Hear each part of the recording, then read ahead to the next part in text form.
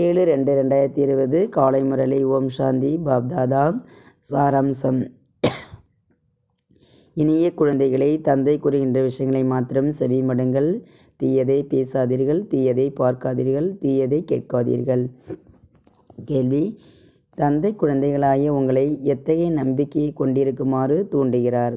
பதில் அவரே உங்களுடைய தந்தையாகவும் ஆசிரியராகவும் சர்க்குருவாகவும் இருக்கின்றார் என்ற நம்பிக்கை கொண்டிருக்குமாறு தூண்டுகிறார். இந்த விழிப்புணர்வை பேணுவதற்கு நீங்கள் முயற்சி செய்ய வேண்டும். இருந்தாலும் மாயை உங்களை மறக்க செய்கின்றாள்.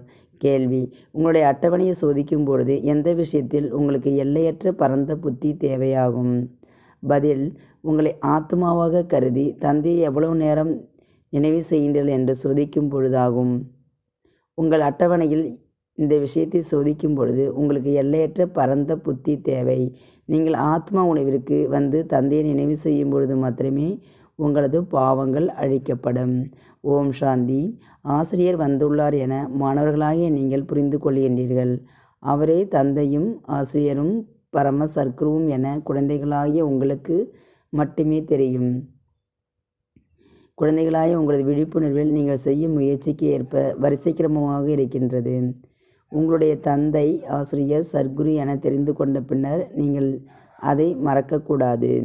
அப்பா என்ன சொல்கிறாங்க தந்தை தந்தை தான் ஆசிரியராகவும் சர்க்குருவார் என தெரிஞ்ச பிறகு நீங்கள் மறக்கக்கூடாது என்பது நியதியாகும். இங்கே மாயை உங்களை அதை மறக்க செய்கிறாள்.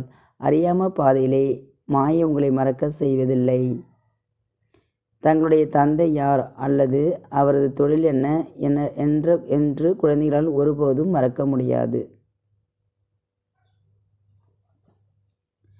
அப்பா இங்கே டிஃப்ரெண்ட் சொல்கிறாங்க நம்ம அறி இப்போ விஞ்ஞானத்தில் இருக்கிறோம். அதான் அறியாமை பாதையை விட்டு அப்பா யாருன்னு தெரிஞ்சிட்டோம் அங்கே வந்து நம்ம இரவில் அதாவது மாய உலகத்தில் வந்து நம்ம வந்து மறக்க செய்வதில்லை. அங்கே வந்து இந்த யாருன்னே தெரியாது. ஆனால் நம்ம மறக்க மாட்டோம். ஆனால் இங்கே அப்பா யாருன்னு தெரிஞ்சிட்டோம்.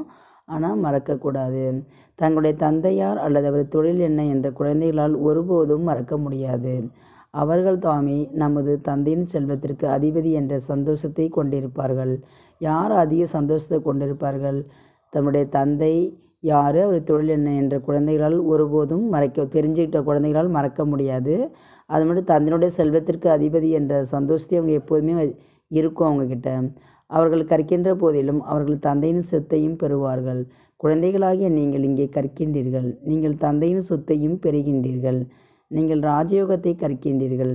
நீங்கள் தந்தைக்கு சொந்தமானவர்கள் என்றும் தந்தைக்கு தந்தை மாத்திரமே உங்களுக்கு விடுதலைக்கான பாதையை காட்டுகிறார் என்ற நம்பிக்கையை நீங்கள் தந்தையிடமிருந்து பெற்றுக்கொண்டுள்ளீர்கள்.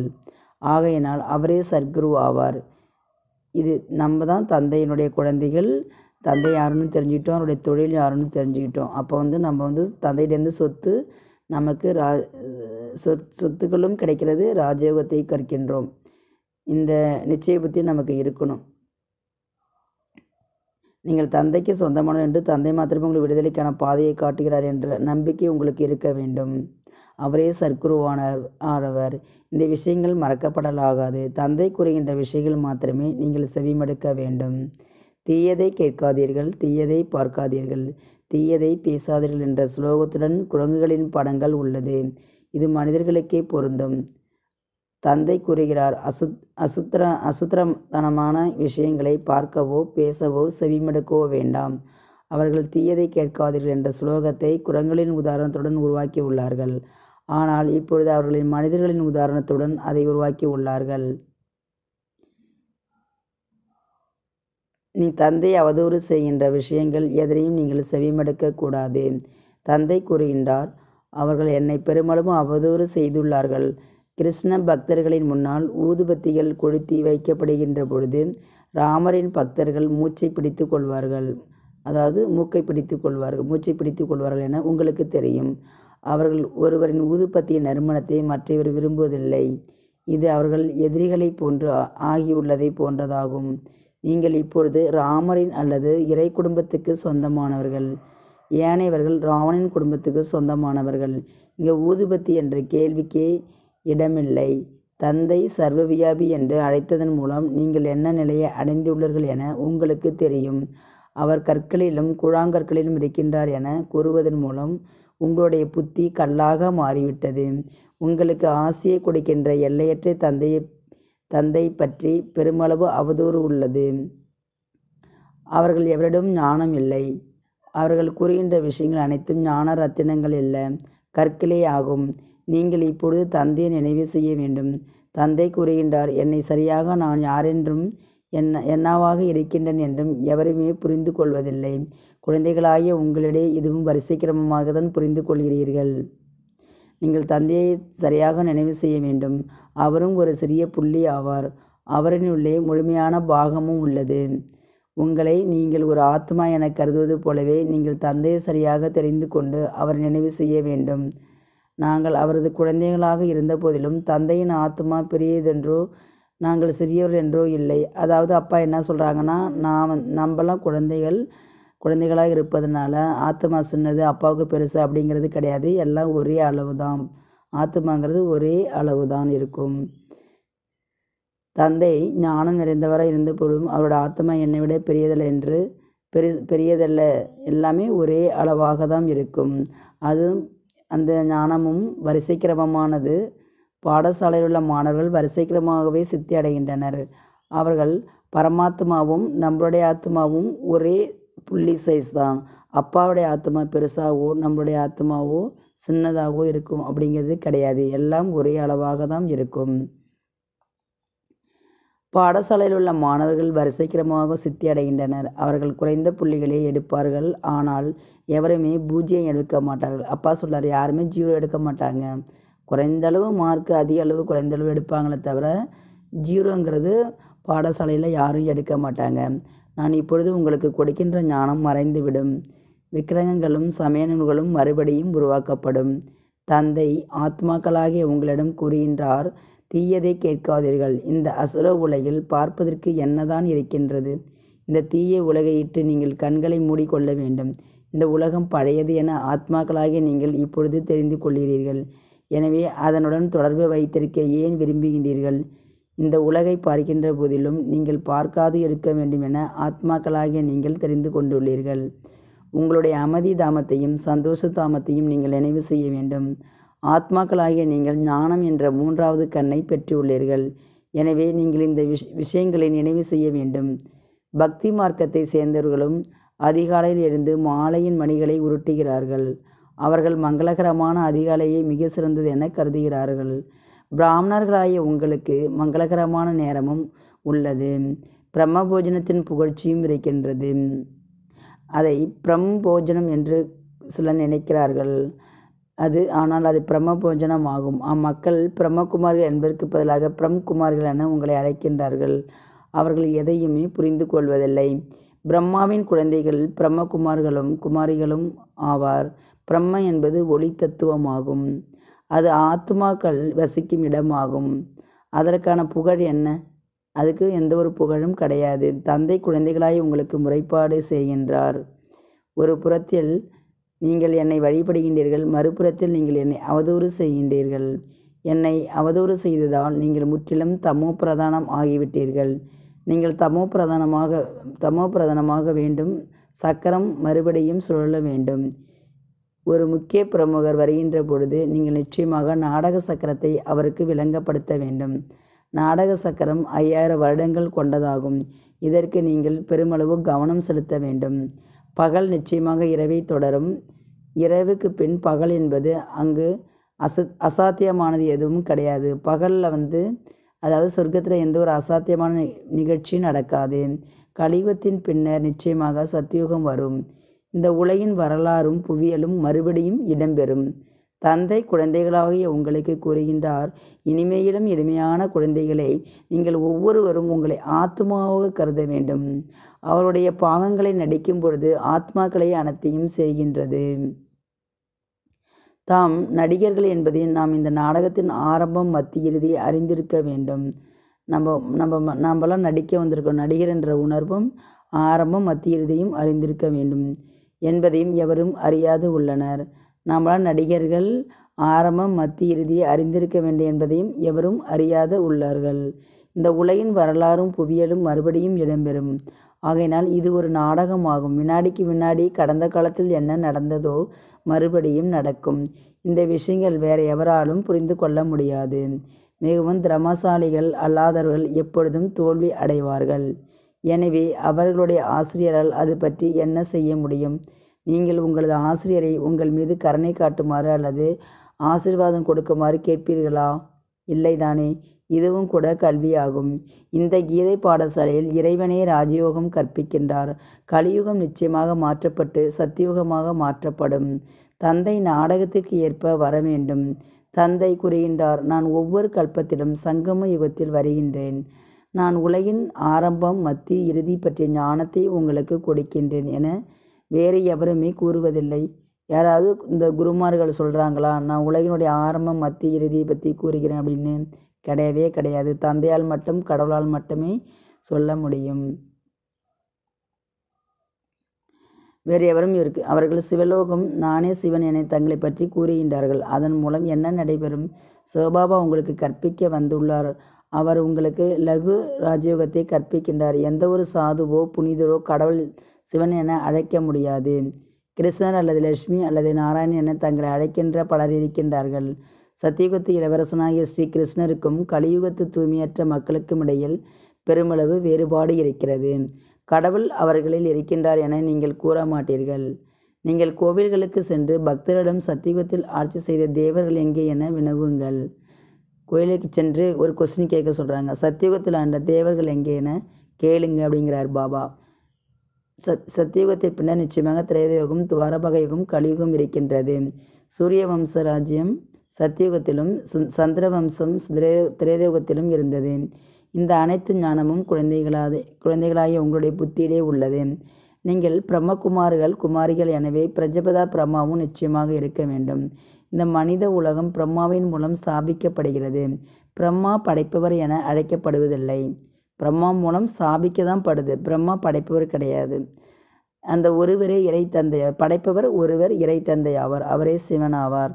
அவர் உங்களின் முன்னால் தனிப்பட்ட முறையில் வரும்போது மாத்திரமே இதை அவரால் விளங்கப்படுத்த முடியும். எவ்வாறு கிறிஸ்து அனைத்து விஷயங்களையும் விளங்கப்படுத்திய பின்னர் பைபிள் உருவாக்கப்பட்டதோ அவ்வாறே அந்த சமய நூல்களும் பின்னரே உருவாக்கப்பட்டன. அவருடைய புகழ் பின்னர் பின்னர் பாடப்பட்டது. தந்தை மாத்திரமே தூய்மையாக்குபவர் ஜீவன் முக்தி அருள்பவர். அனைவரையும் விடுதலையாக்குபவர் என புகழப்படுகின்றார். மக்கள் அவரை நினைவு செய்து அவருக்கு கூறுகின்றார்கள் ஓ தந்தையாகிய கடவுளே கருணை கொள்ளுங்கள். தந்தை என்று ஒருவர் மாத்திரமே இருக்கின்றார். இந்த முழு உலகிலுள்ள அனைவருக்கும் அவரே தந்தை ஆவார் மக்களுக்கு அவர்களை துன்பங்களிலிருந்து விடுவிப்பவர் யார் என்று தெரியாது.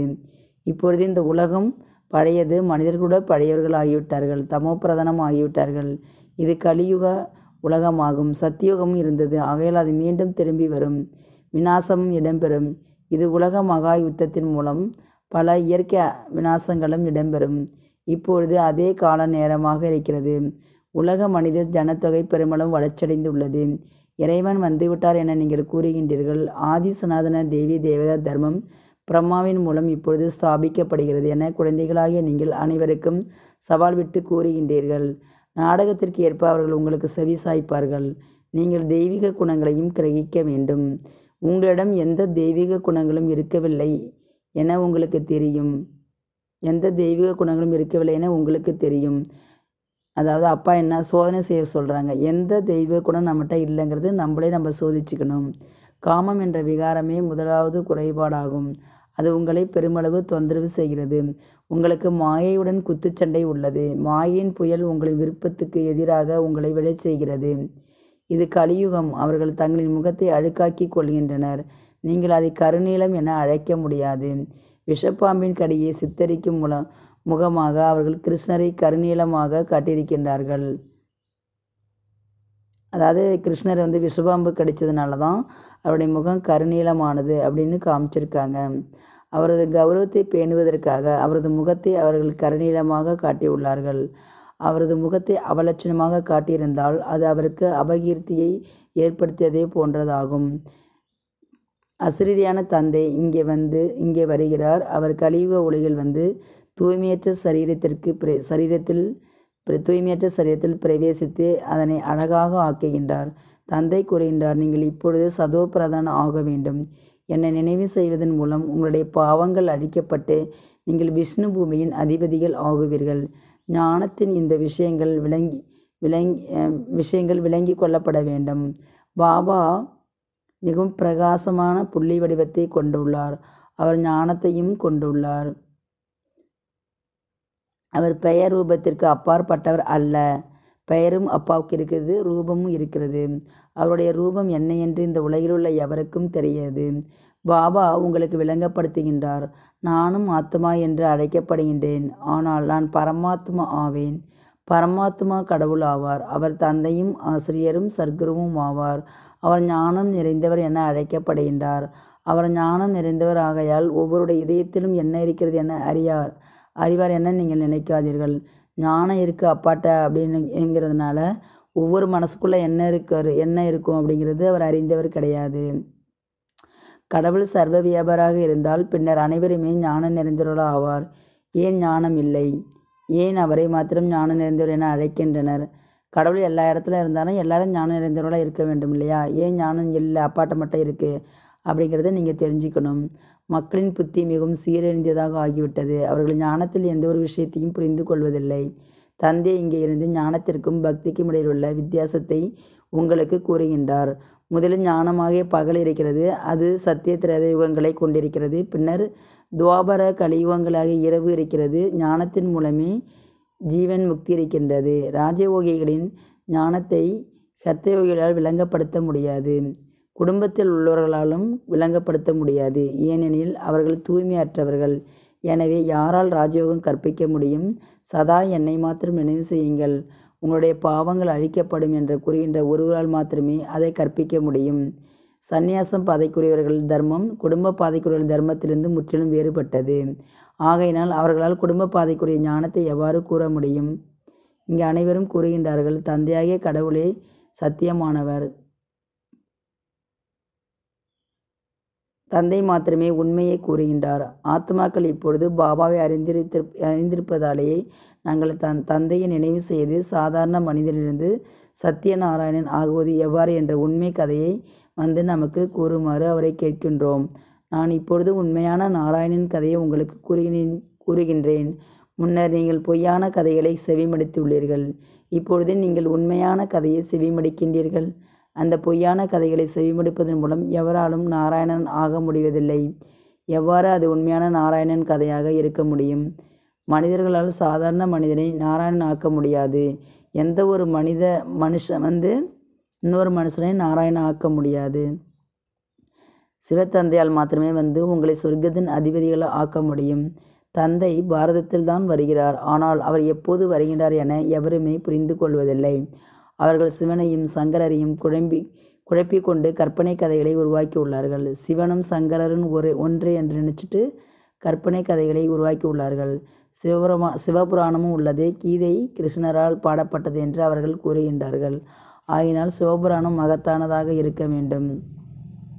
உண்மையில் ஞானம் கீதையிலே உள்ளது. கடவுள் கூறுகின்றார் மன்மன பவ இந்த பதம் கீதையை தவிர வேற எந்த சமய நூல்களிலும் இல்லை.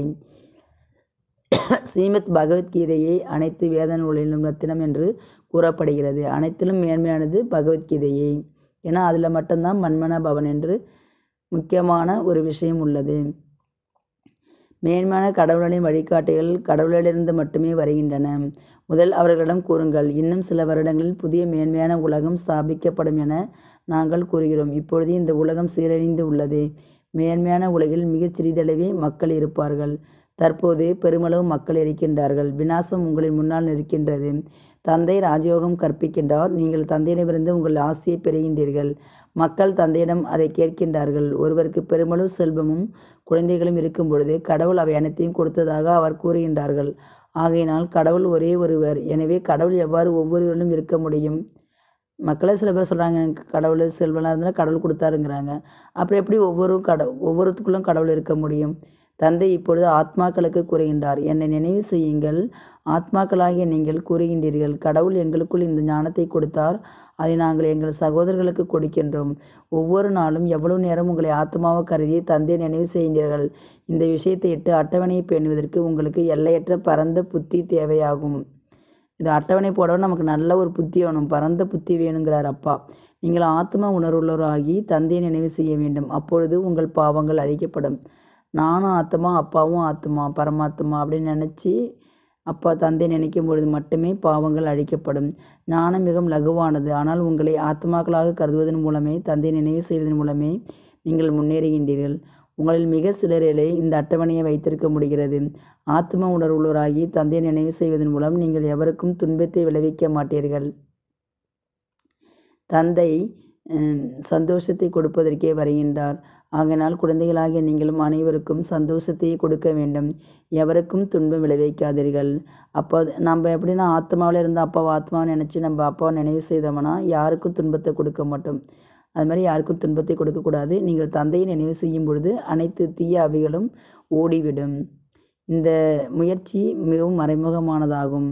அச்சா நல்லது. நம்ம தந்தையை நினைவு செய்யும்போது தேவையற்ற தீயாவைகள் நம்மளை விட்டு ஓடி போயிடும்.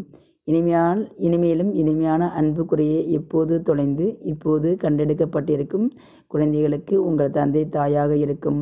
பாப்தாதாவின் அன்பு நினைகளும் காலை வந்தனங்களும் ஆன்மீக ஆன்மீக தந்தை ஆன்மீக குழந்தைகளுக்கு நமஸ்தே சொல்கின்றார். தாரணைக்கான சாராம்சம் இந்த அசுரத்தனமான அசிங்கமான உலகிற்கு கண்களை மூடிவிடுங்கள். இந்த உலகம் பழையது ஆகையினால் அதனுடன் மேலும் எந்த தொடர்பையும் கொண்ட கொண்டிருக்காதீர்கள். அதை பார்க்கின்ற பொழுது பார்க்காதிருங்கள் நாங்களே இந்த எல்லையற்ற நாடகத்தில் நடிகர்கள் கடந்த காலத்தில் நடந்தவையெல்லாம் வினாடிக்கு வினாடி மறுபடியும் நடைபெறும். இந்த விழிப்புணர்வை பேணி ஒவ்வொரு பாடத்திலும் சித்தி அடையுங்கள் நீங்கள் எல்லையற்ற பரந்த புத்தியை கொண்டிருக்க வேண்டும். ஆசீர்வாதம் உங்களுடைய மேன்மையான மனோபாவத்தினால் பிறரது. மனோபாவத்தை மாற்றி சதா வெற்றி சொருபம் ஆகுவீர்களாக. வெற்றி சொரூபம் ஆகுவதற்கு உங்கள் சொந்த மனோபாவத்தினூடாக மனோபாவங்களையும் உங்கள் எண்ணங்களினால் எண்ணங்களையும் மாற்றும் பணியை செய்யுங்கள். இதனை இட்டு ஆராய்ச்சி செய்யுங்கள். இந்த சேவையில் நீங்கள் மும்முரமாக இருக்கும்போது இந்த சூட்சுமமான சேவை இயல்பாகவே உங்களை பல பலவீனங்களுக்கு அப்பால் அழைத்துச் செல்லும். இப்பொழுது இதற்கானது ஒரு திட்டத்தை வகுக்கும் பொழுது எண்ணிக்கை மாணவர்கள் எண்ணிக்கை அதிகரிக்கும்.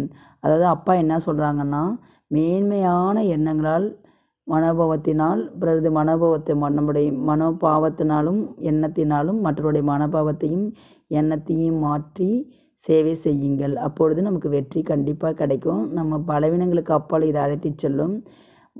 படிக்கவருடைய மாணவர் எண்ணிக்கையும் அதிகரிக்கும். வருமானமும் மிக அதிகளவில் அதிகரிக்கும். கட்டடங்கள் உங்களுக்கு வழங்கப்படும். முழுமையான வெற்றி லகுவாக எட்டப்படும். இந்த வழிமுறைகளை உங்களை வெற்றி சொரூபமும் ஆக்கும் ஸ்லோகம் உங்கள் நேரத்தை தொடர்ந்து பயனுள்ள வகையினால் பயன்படுத்தினால் நேரத்தினால் ஏமாற்றப்படுவதிலிருந்து நீங்கள் பாதுகாக்கப்படுவீர்கள்.